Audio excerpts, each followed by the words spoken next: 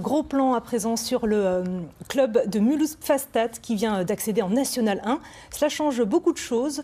Arrivée euh, de nouveaux euh, joueurs, des professionnels, moyens financiers plus importants, même s'il reste l'un des plus petits budgets de la division, sans oublier l'emblématique entraîneur Jean-Luc Monchot. Reportage Stéphanie Malorand, Nicolas Meyer.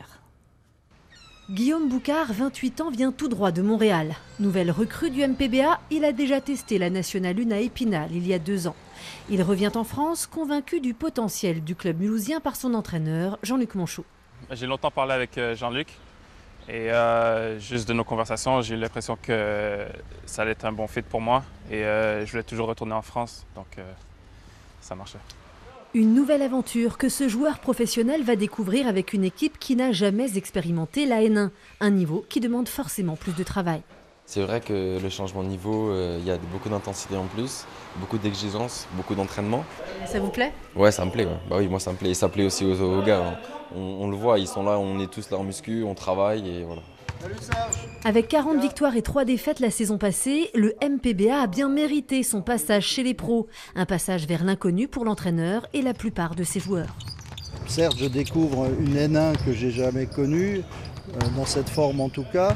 Euh, ce qui change, c'est que mes joueurs ne l'ont pas connue non plus. Et donc il est d'une part difficile de, s'étalonner, difficile de se projeter, et il faudra être euh, dès le début très vigilant pour essayer de gagner des matchs.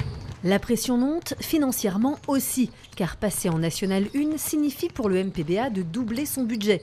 Il atteint 750 000 euros, ce qui reste malgré tout l'un des plus petits de la division.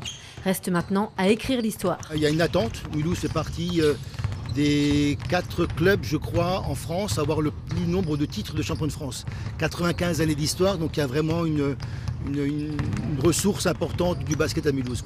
Plus que quelques jours de préparation pour l'équipe qui va jouer son premier match de championnat à domicile le 21 septembre face à Andrézieux.